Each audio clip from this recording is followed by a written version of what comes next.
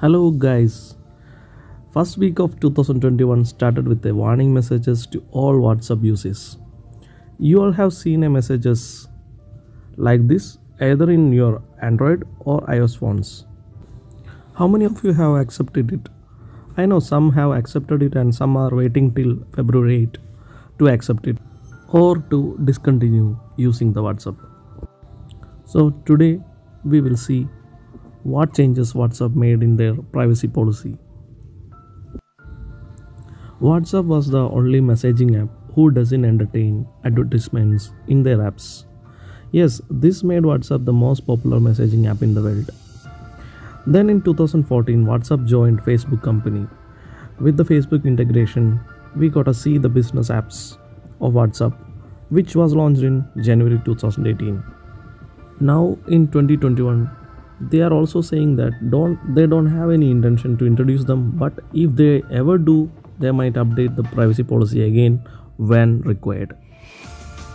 Now let us see what are the changes made in WhatsApp privacy policies.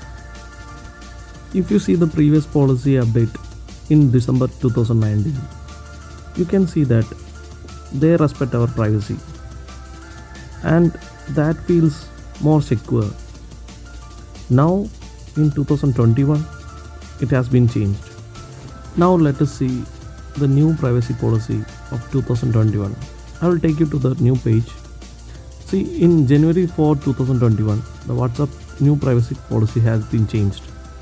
Here, that respect for our privacy part mentioned in 2019 update has been completely removed and is missing.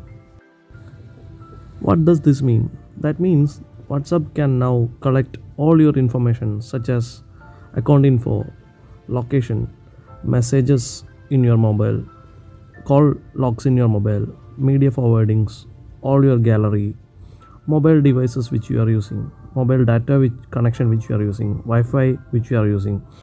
Now the main important update says that they can use our data for business marketings. For example, if you share or discuss with any of your friends to buy some gadgets or trying to book a flight ticket, all these data will be collected by WhatsApp. This is because you have agreed to all the permission requested by the WhatsApp.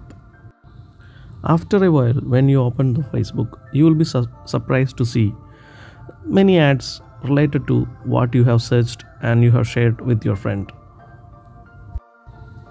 This means that Facebook is collecting the information from your WhatsApp and sharing it with the third parties. So, this is the new privacy policy from WhatsApp. This is because you have agreed to all the permissions requested by the WhatsApp while installing it, like access your call logs, camera and gallery, the device storage, location, your contacts, and even the SMS. Now I'll come to the conclusion. That means the WhatsApp is no longer a privacy app from February 8. That means all our WhatsApp data will be used by Facebook from February 8. The fact is that if you want to continue using WhatsApp, you need to accept these changes, or if not, it cannot be used for messaging. There is no other solution to avoid accepting it. If you don't want to share your details with Facebook, only options is to delete the WhatsApp and try using some other messaging apps like Telegram. So guys, I hope you all liked the video. Please share this important information to your friends and family too. Kindly comment below for your reaction about the new privacy policy of WhatsApp. That's all guys for today. Thanks for watching my video.